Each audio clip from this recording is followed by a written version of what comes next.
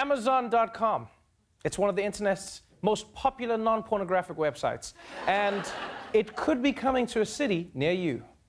Amazon making a decision on the location of its second headquarters. Amazon is reportedly going to split their second headquarters between two cities, Long Island City right here in New York and Crystal City in Northern Virginia. That's 50,000 jobs between those two locations.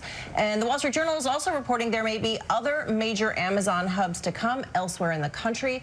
Finally, something that's going to put New York and DC on the map. Yes! You know, seeing New York and DC land a new office complex is sort of like watching Bill Gates win the lottery. It's like, congrats, I guess. and it'll be interesting to see how Amazon changes New York. But really, I want to see how New York changes Amazon. I give it six months before they're like, yeah, we got a return policy. It's called shut the f up, tough guy. Get the shit out of here. And with tax incentives and grants, New York is paying Amazon more than $1.5 billion to move here. And yet somehow they can't afford to fix the subway, yeah?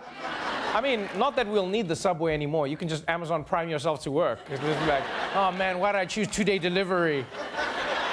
Moving on, uh, everyone knows high school prom photos are incredibly embarrassing, uh, especially for me because I had to take my cousin to prom, uh, who is a giraffe. I'm, I'm, sorry, I don't know why my writers keep giving me these dumb Africa jokes. I had a normal, a normal prom date with a zebra named Deborah, or as you say here, Debra. The point is, prom photos should be embarrassing, not offensive. Police in Wisconsin are investigating a disturbing prom photo that's led to growing international outrage. The photo appears to show more than 30 male high school students making a Nazi salute. The image was posted on Twitter Sunday night and quickly spread. One student in the photo did not participate, but says the gestures were intentional. First of all, congratulations to that one kid. Second, yes, this is where we are in 2018. We're congratulating a kid for not being a Nazi. Like, what were these kids even thinking? They had to know that the photo was going to get out. And there aren't enough jobs in the Trump administration for all of them. Come on. what were you guys thinking?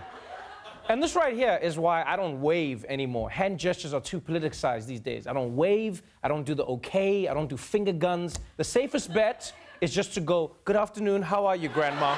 That's what we do from now on. In other news, uh, remember all those kids who were eating Tide Pods? Well, now they have something to wash them down.